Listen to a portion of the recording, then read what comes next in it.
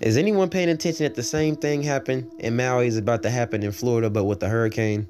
These people are making videos, and it's been on the news that somehow diesel got into the regular gasoline source, and people have been putting this stuff into their cars. They're making footage and they're making reports that they're scared that they're not going to be able to evacuate once these hurricanes come destroy everything that they have. I just put a list up yesterday about the cities that are participating with the smart city movement. You don't have to believe it. Your city is on the list whether you like it or not, whether you can see it or not. These people are destroying stuff to rebuild something new. Maui just went to ashes. Florida is about to literally go underwater. Like, and it, it, will trick a lot of those people like it's normal. It's hurricane season. That's not normal to lose all your shit. It's not normal to thousands of people to lose their lives and get no help. That's not normal. Now people can't evacuate. This is turning into a trend. To people are dying by tragedy and can't evacuate. Maui was fire. These people are about to be drowned and can't leave because their car has diesel in it now. Y'all, prepare. This is happening.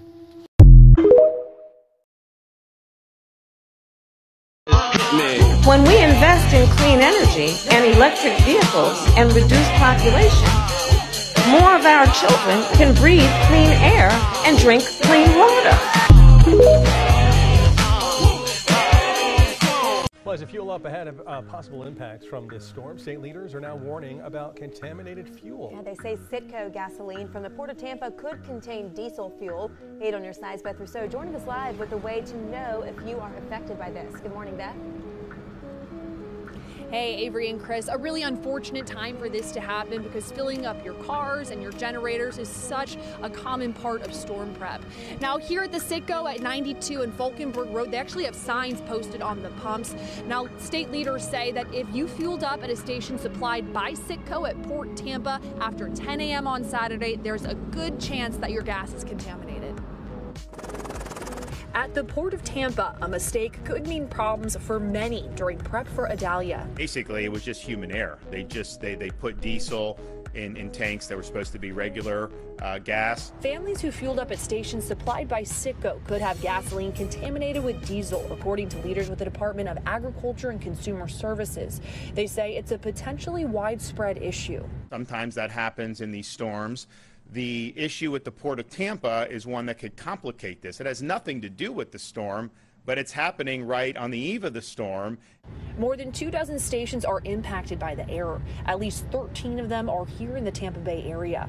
If you fueled up at the locations after 10 o'clock Saturday morning, there's a chance your gas is contaminated.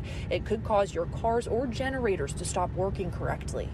I want to ensure Floridians that we are coordinating here at the EOC with everyone from, from petroleum retailers to the ports themselves to ensure that the disruption will not be widespread or prolonged and that residents can have a seamless can have seamless access to fuel. Stations have been notified and told to stop selling gas until the contaminated fuel is replaced and the tanks are cleaned.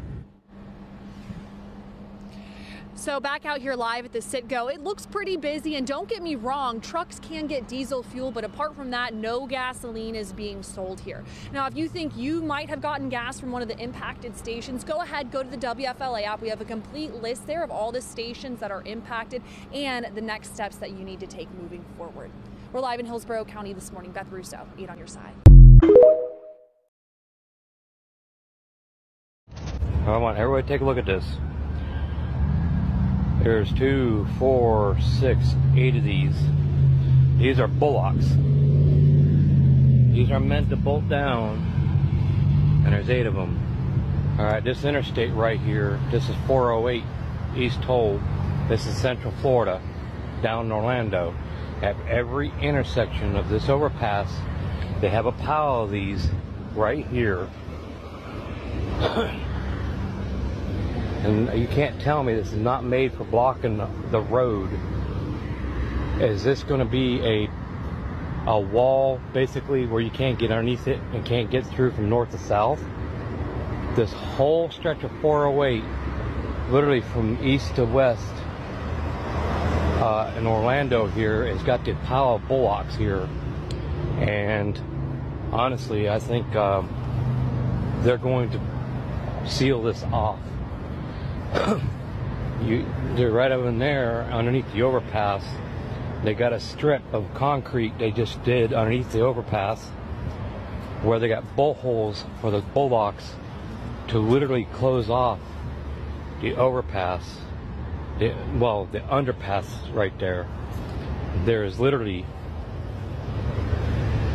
enough for those, and on the other side, there's another eight. Every overpass has a pile of these.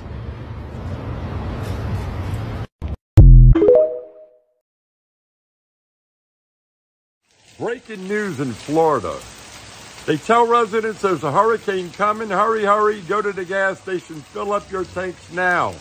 So the people go fill their tanks up, only to later learn that the gas has been contaminated with diesel fuel. You know what happens when you put diesel in a regular engine, right? It doesn't run very long, very far. So here comes a hurricane. These people are going to try to evacuate They'll get on the interstates and highways and byways in Florida, and their vehicles will suddenly die.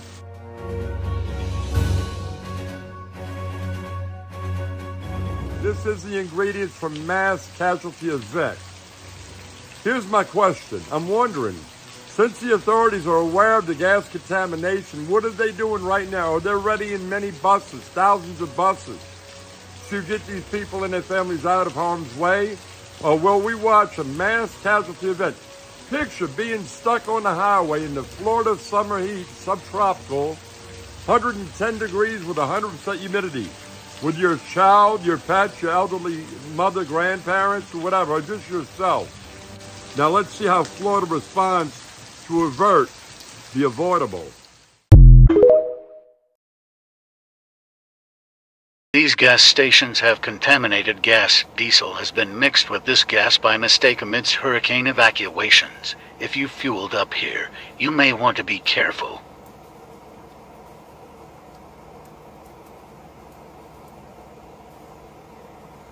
These gas stations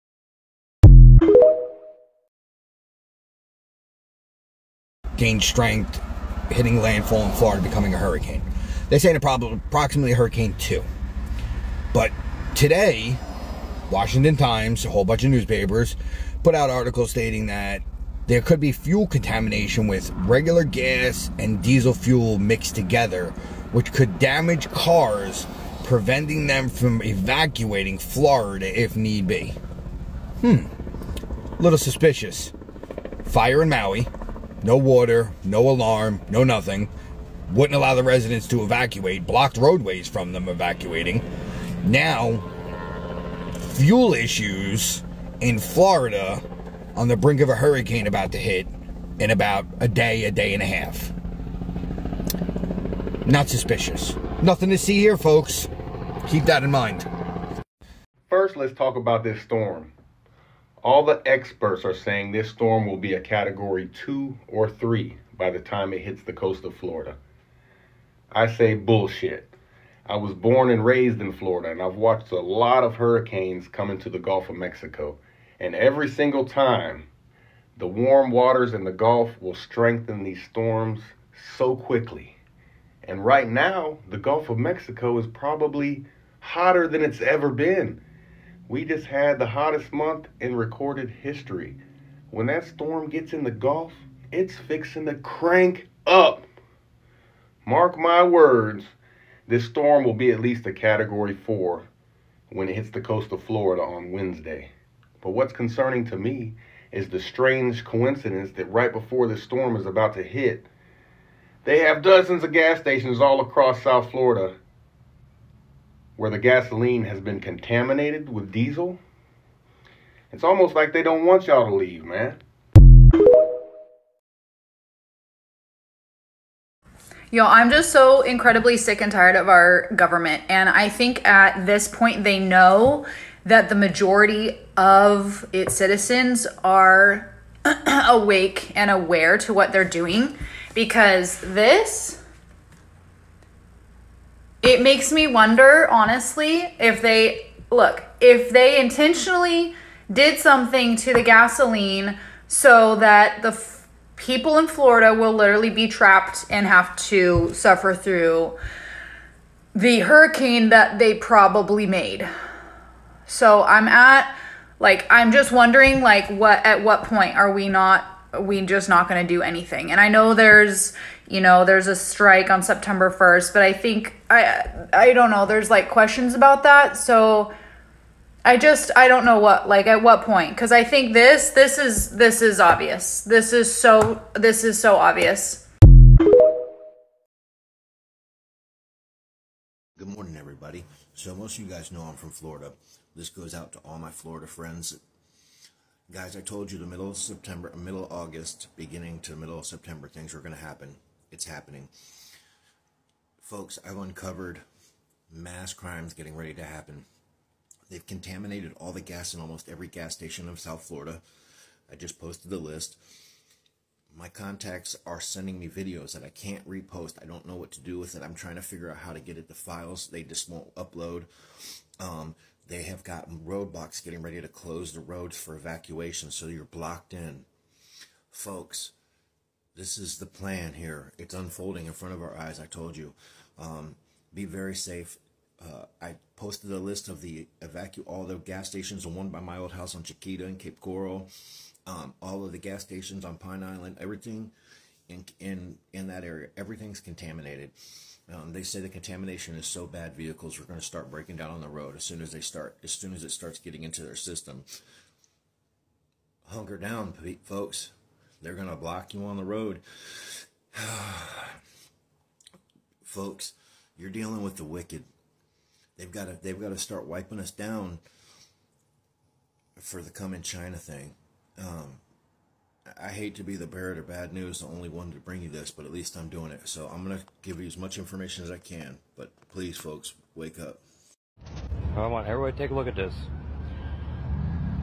There's two, four, six, eight of these. These are bullocks.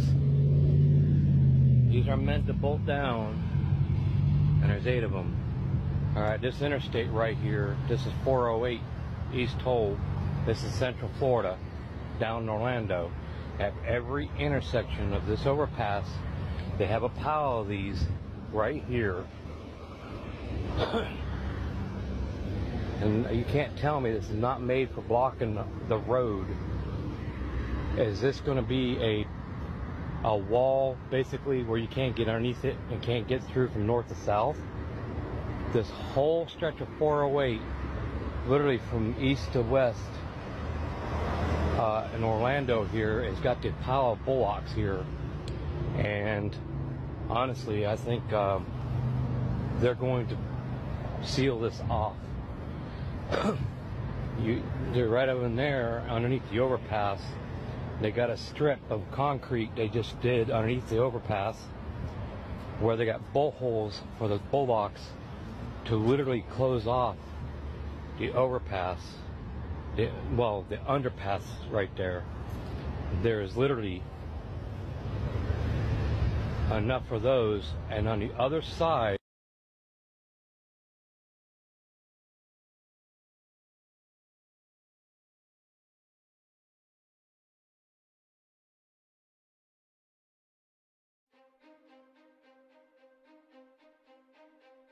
all Floridians, you, you need to be executing uh, your plans now. Uh, this is going to be uh, a major hurricane. Uh, this is going to be a powerful hurricane, and this is absolutely going to impact uh, the state of Florida in many, many different ways. Governor DeSantis shared with me, you know, his concerns about certain areas and making sure that we get the message out there for people to listen to their local officials and to evacuate. Uh, please make the appropriate accommodations and take the appropriate precautions. Uh, we'll have all these people there. They're going to be able to help. Uh, this is going to be a powerful hurricane, and this is absolutely going to impact uh, the state of Florida in many, many different ways. So please, please heed your uh, the directives from your local officials. Florida officials say gas stations supplied by the company Citgo may be contaminated with diesel after a mistake on Saturday. This comes at a time when a number of Floridians are fueling up ahead of the storm. The issue with the Port of Tampa is one that could complicate this. It has nothing to do with the storm, but it's happening right on the eve of the storm. More than two dozen stations are impacted by the error. At least 13 of them are here in the Tampa Bay area. If you fueled up at the locations after 10 o'clock Saturday morning, there's a chance your gas is contaminated. The Florida Department of Agriculture and Consumer Services says that human error contaminated fuel for gas stations supplied by Citgo with diesel. Now, gas stations have to replace this fuel and clean their tanks before they can reopen. It could be a massive storm brewing right now. In fact, millions of Americans living in the southeastern United States and especially the state of Florida are bracing for this. Good evening, TikTok.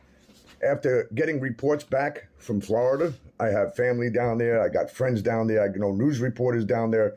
I've spoke to them. They said, "Man, listen, the, the gas is contaminated. It's contaminated. People that got gas, people that got ca- gas cans and brought it home to fill their generators up for the hurricane when the lights go out.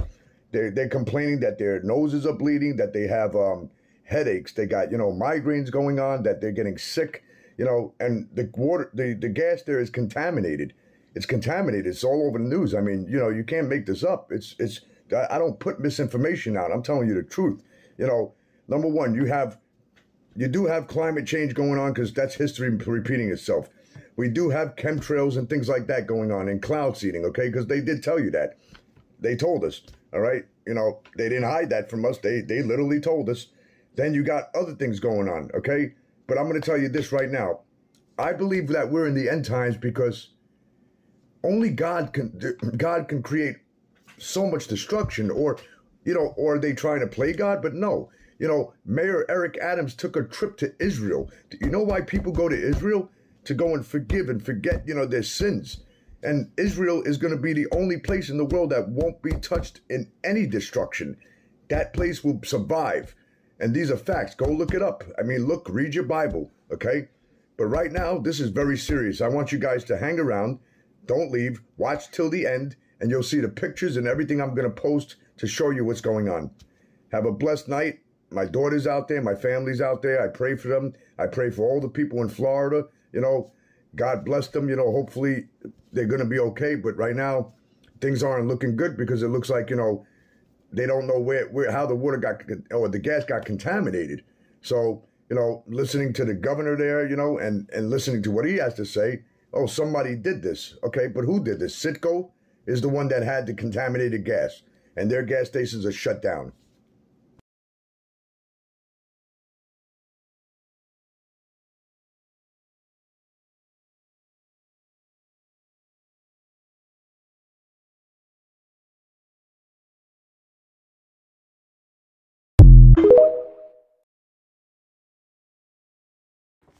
Is the government trying to trap people in Florida? Is the government trying to prevent you from escaping? Is the government trying to make your car stall and you get stuck in a major hurricane with catastrophic storm surge and a depopulation attempt?